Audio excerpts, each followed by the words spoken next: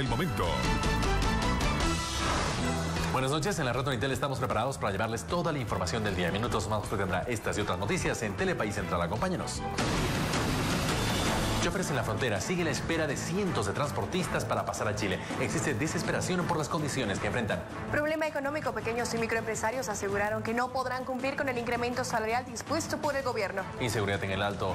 En el módulo policial de la Plaza Alarcón solo existen dos policías por turno y un vehículo antiguo. Infecciones respiratorias. En el Hospital del Tórax aumentan los casos de neumonía en un 50%. Médicos piden precaución. Festividad del Gran Poder. Se ultiman los preparativos para la Fiesta Mayor de los Andes. Este domingo se realizará el último recorrido. Inseguridad en el Alto comenzará el registro de taxistas para evitar que delincuentes sigan atracando a pasajeros. Selección Nacional. El equipo de todos viajó a Nicaragua para enfrentar en partido amistoso este viernes a las 20.30 a la selección local. Cuando falten 15 minutos para las 20 horas llegará Telepaís Central. Acompáñenos. Buenas noches.